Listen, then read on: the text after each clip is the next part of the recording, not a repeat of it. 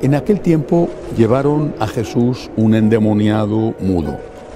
Echó al demonio y el mudo habló. La gente decía admirada, nunca se ha visto en Israel cosa igual. En cambio, los fariseos decían, Este echa a los demonios con el poder del jefe de los demonios. Jesús recorría todas las ciudades y aldeas enseñando en sus sinagogas, anunciando el Evangelio del reino y curando todas las enfermedades y dolencias. Al ver a las gentes se compadecía de ellas porque estaban extenuadas y abandonadas, como ovejas que no tienen pastor. Entonces dijo a sus discípulos, La mies es abundante, pero los trabajadores son pocos.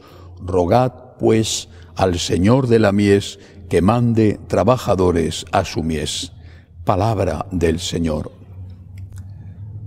El fragmento del Evangelio de hoy es muy parecido al que meditamos el pasado domingo.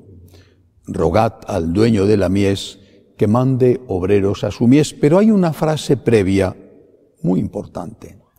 Dice Jesús, viendo a aquella gente que estaba la gente extenuada y abandonada, como ovejas que no tienen pastor. Cuando uno se consagra, se consagra al Señor. Ese es el principal motivo. No es una consagración a una actividad, es una consagración a Dios. Yo quiero ser de Dios. Quiero consagrarme a Él. Los sacerdotes somos sacerdotes de Cristo.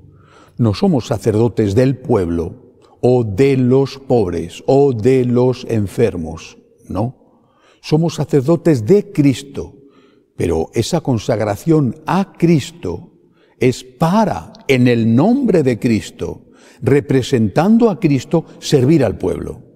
Servir a los enfermos, servir a los pobres, servir a los que sufren, servir a todos.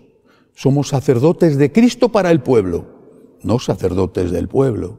Es decir, yo no soy un empleado de una multinacional o un empleado de una Mm, sucursal de la multinacional que es una parroquia. O, yo, soy consagrado a Dios. Eh, y por Cristo, por amor a Cristo, me he consagrado. Por amor a Cristo sirvo en la tarea y en la misión que Cristo quiere de mí. Que mm, es una tarea y una misión que seguramente va a tener características comunes para todos los consagrados, pero que después va a tener características específicas un sacerdote de un monasterio de clausura no tiene que hacer lo mismo que un sacerdote diocesano que atiende una parroquia. Un sacerdote de una congregación religiosa que educa niños no tiene que hacer lo mismo que el sacerdote de una congregación religiosa que se dedica a atender a los enfermos. Pero todos estamos consagrados a Cristo y luego el Señor nos manda a un sitio o a otro, a una actividad o a otra. Pero en el corazón de todos nosotros, junto al amor a Cristo, que es lo primero, está también la compasión. La compasión por el prójimo necesitado, que será la compasión por el que no conoce a Dios y tenemos que rezar. Será la compasión por el enfermo y tenemos que ayudar a curarle. Será la compasión por el pobre y tenemos que ayudar a alimentarle.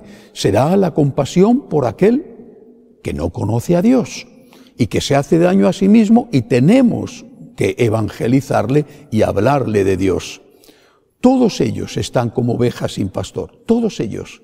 Nosotros hemos sido llamados por Jesús para ayudar a estas personas, para socorrer a estas personas, en el nombre de Cristo. Hagamos pues lo que dice el Señor. Pidamos personas que quieran consagrarse a Él, dar la vida por Él y por amor a Él estar al lado de esa multitud cada vez mayor que no conocen a Dios, que se hacen daño a sí mismos porque no conocen a Dios, que quizá están poniendo en peligro su salvación eterna porque no conocen a Dios y nadie les ha dicho que lo que están haciendo está mal. Tenemos que tener compasión por estos que están extenuados y abandonados como ovejas sin pastor y por amor a Jesús para darle a Dios aquello que Él se merece, por agradecimiento a Jesús, nos acercamos a servir a estas ovejas abandonadas que no tienen pastor. Que así sea.